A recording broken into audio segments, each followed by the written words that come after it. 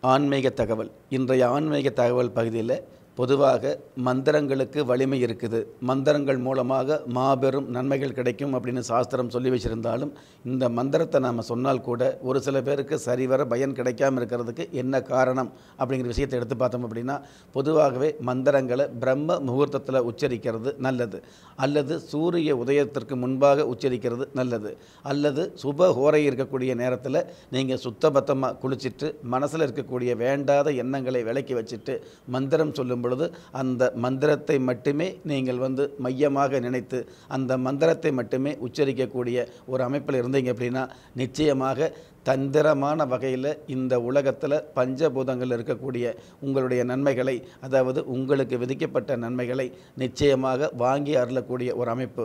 அல்லது உங்களுடைய மனசில் வந்து இன்றைய நாளில் எந்த காரியத்தில் எந்த மாதிரியான வகையில் ஈடுபடணும் அப்படிங்கிற ஒரு நிலைப்புத்தன்மை இந்த மாதிரியான விஷயங்களை எல்லாம் நன்மையோடும் உண்மையோடும் நிச்சயமாக கொண்டு வந்து சேர்க்கக்கூடிய அமைப்பு இந்த மந்திரங்களுக்கு இருந்துகிட்டு இருக்குது அப்படிங்கிறது யதார்த்தமான உண்மை.